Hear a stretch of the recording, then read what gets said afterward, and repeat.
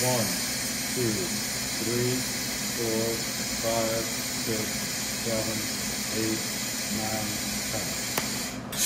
One, two, three, four, five, six, seven, eight, nine, ten.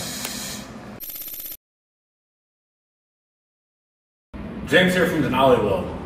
Today we're going to be talking about laser safety. It's one of the most prominent questions that we're asked here at Denali Weld is what are we doing to protect the operators as long with the people around the operators during your everyday applications. We're going to be showing you today our remote cleaning sensor that is proprietary to our system.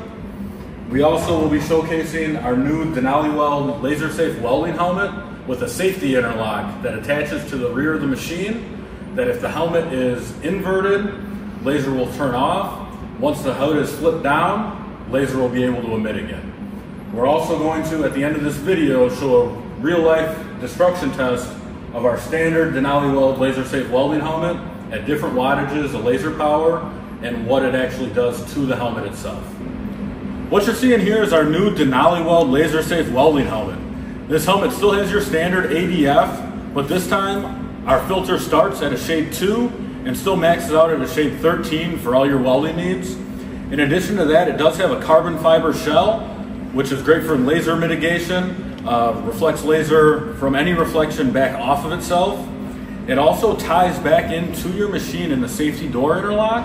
And what that does, is it allows the laser to know when the helmet is on and in the welding position. So in the vertical position, laser will not be on and laser will not emit.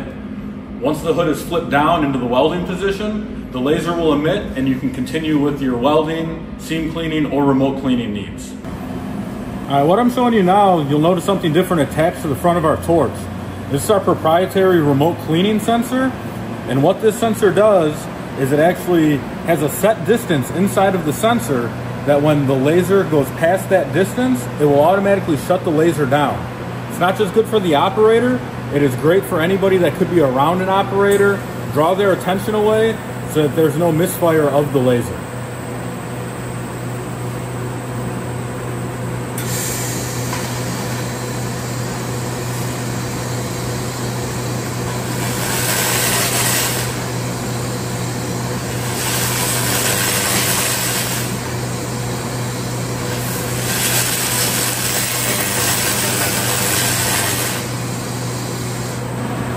So one of the most important safety features that's on a Denali weld machine is the use of a conductive clip. What that conductive clip does is it allows the welder to know that there's conductivity between the welding torch, your filler metal, and the welding table to be able to emit laser. As you can see, there's one green light indication here. No conductive clip on the table. It is still just a solid green light.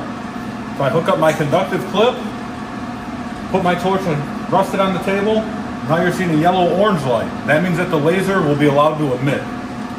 As seen, conductive clip taken off, trying to weld, no laser. Conductive clip being put on, laser will emit and allow you to weld. So just another thing that we've done to take safety to the next level, this is our Denali Weld Laser Safe Welding Jacket. It's an FR exterior with a silver mesh interior. And what that silver mesh does is it helps protect against any radiation, not just from the laser welder, but from any other high powered equipment that's in the area. Now let's get into the fun. Let's see what this helmet can withstand. I know this is what you've all been waiting for. Today we're gonna test our laser safe welding helmet. First, we're gonna have the torch in remote cleaning mode just for the safety precautions and the testing. Don't try to do this at home in your shop. Exterior is your protective glass and your ADF. We're going to shoot that for 10 seconds. And then we're going to test our OD6 Plus laser safe glass that's rated to 1070 nanometers for an additional 10 seconds. And let's see the results. One, two, three, four, five, six, seven, eight, nine, ten.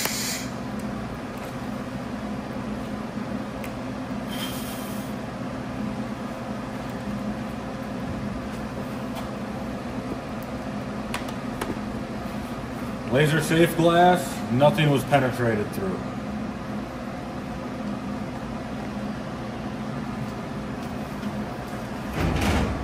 Now on to the laser safe glass.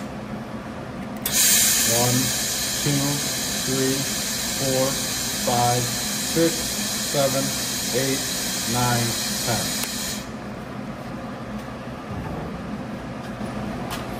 You can see it did deform the outside of the glass.